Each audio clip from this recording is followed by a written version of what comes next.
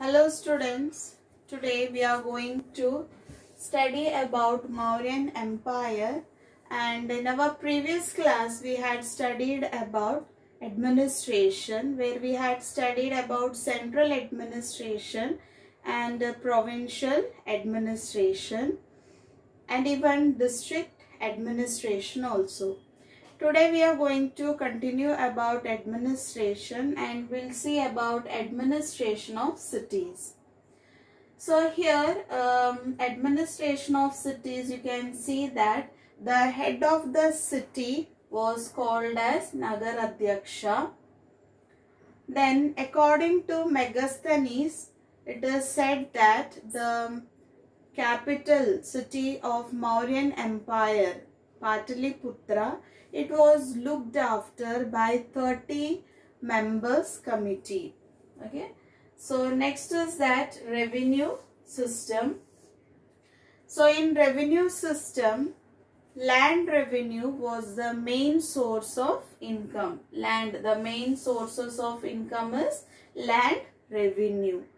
So it was collected like uh, one sixth to one fourth of produced okay agricultural produced was collected. And there were two types of taxes. Two types of taxes were there. That is bali and bhaga. Okay two types of taxes bali and uh, bhaga. So about uh, bali it is written in one of the ashoka's edicts. So bali means it is religious tributaries. So Bali means religious tributaries and according to Vincent Smith and uh, Shama Shastri, Bhaga is the tax which is collected on the agricultural products.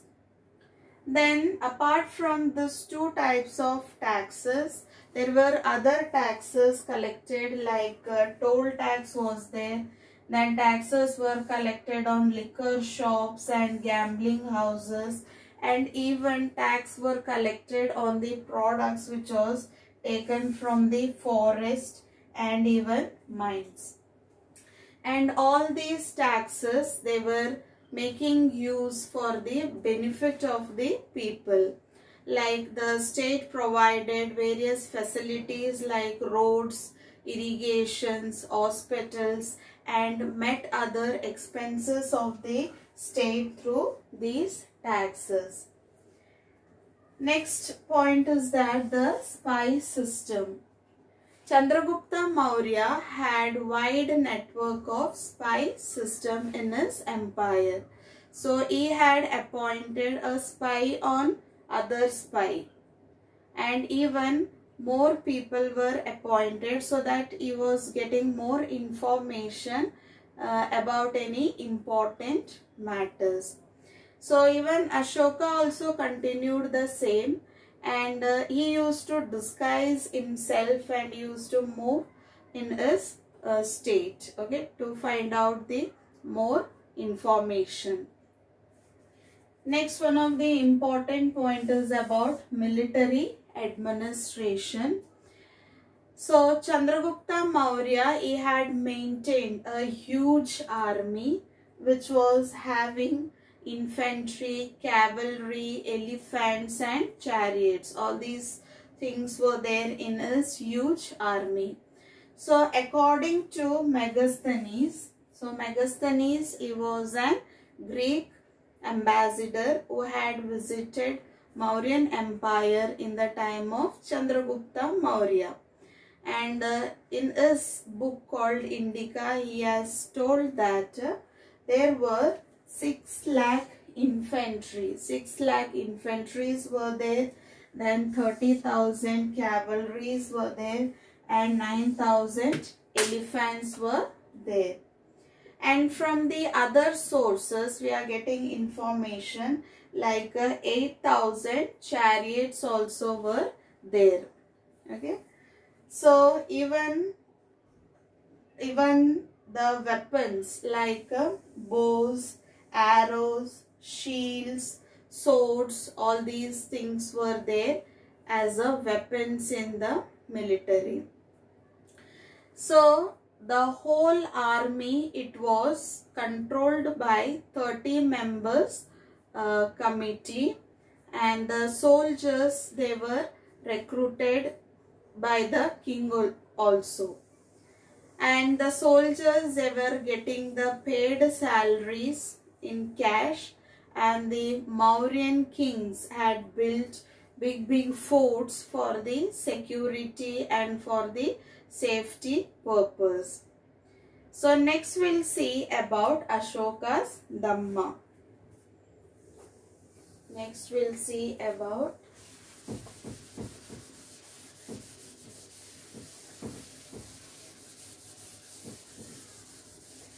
Ashoka's Dhamma.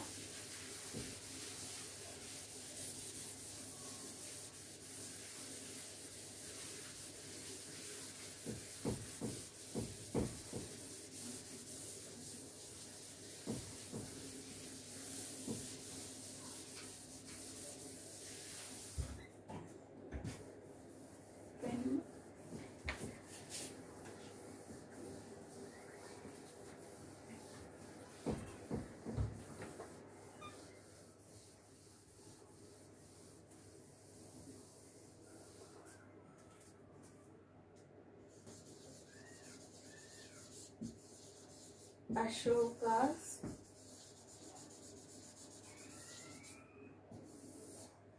Dhamma. So here children after Kalinga war Ashoka he became like people's king. He embraced Buddhism and um, he did not impose Buddhism on his subjects. Okay. Even though he had embraced Buddhism, he did not force anyone to um, practice Buddhism here. So Dhamma was based on unifying principles of all religions of the world. Okay. So Dhamma means it is unifying all religions of the world. According to Ashoka's edict, Dhamma is not a religion or a religious system. Okay. So what it is?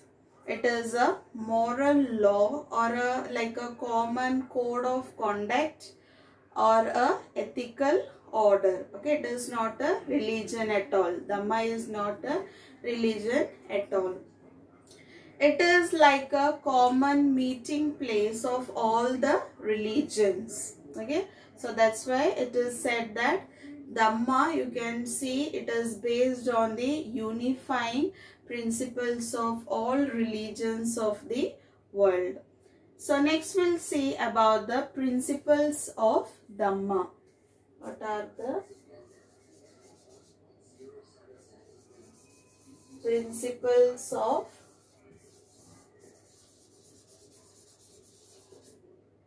Dhamma? So here first you can see that uh, respect for elders and love for children. Respect elders and love for children. First point is that uh, respect for elders and love for children. And second one is that ahimsa or non-violence. Ahimsa or non-violence. Third one is that good deeds or good karma would give happiness to the man in his next birth. Okay. Good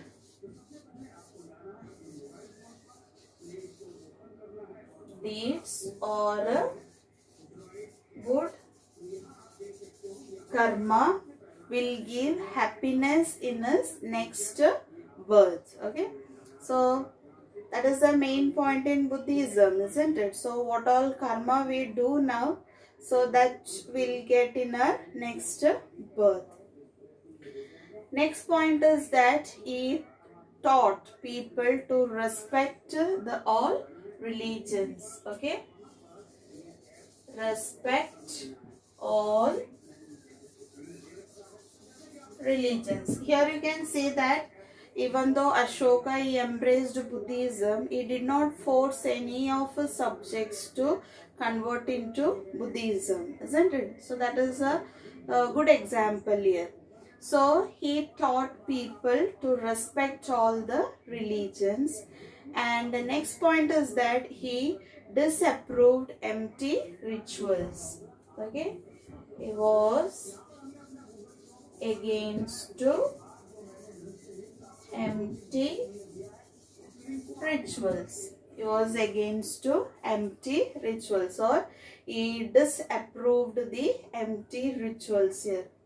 Next we'll see the impact of Dhamma or Ashoka's imperial policy. Impact of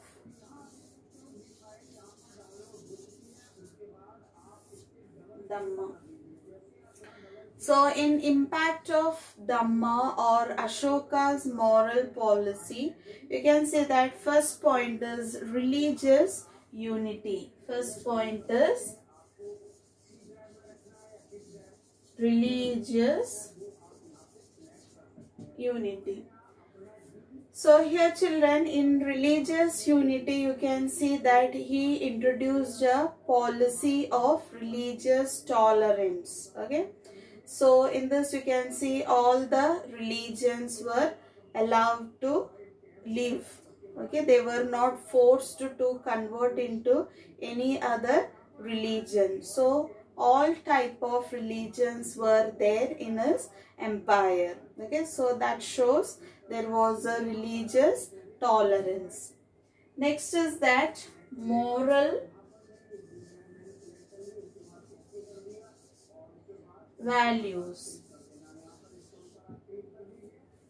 So here in moral values you can see that the influence of Dhamma people they started living in a moral life okay they were they started to live in a very happily they started to live. That is after the um, introduction of uh, Dhamma, people they started to live very happily. And uh, next point you can see end of crimes.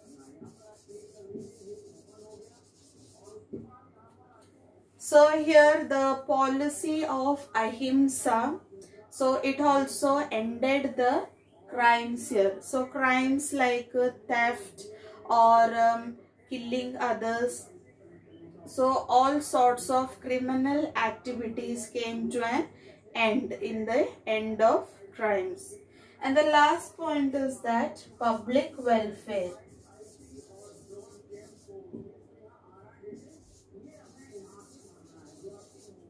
So here children in public welfare you can see with the policy of conquest and war. With the policy of conquest and war, this came to an end. That is, before embracing Buddhism, Ashoka had the policy of conquest and war. That is, conquesting more places through war. So now this came to an end now. So Ashoka, he used Dhamma for the um, welfare of the people here. Okay. So this helped many officers to undertake welfare activities for the public. So through various schemes, they started to construct like uh, hospitals, then um, uh, good roads were made and either side of the roads they planted the trees which were bearing the fruits okay then rest houses so like this so many welfare activities were made. So as a result the state got prosperity and this helped people to lead a peaceful life. So students today we are came to the end of this chapter. So i hope everyone are clear with this topic. So thank you children. Have a nice day.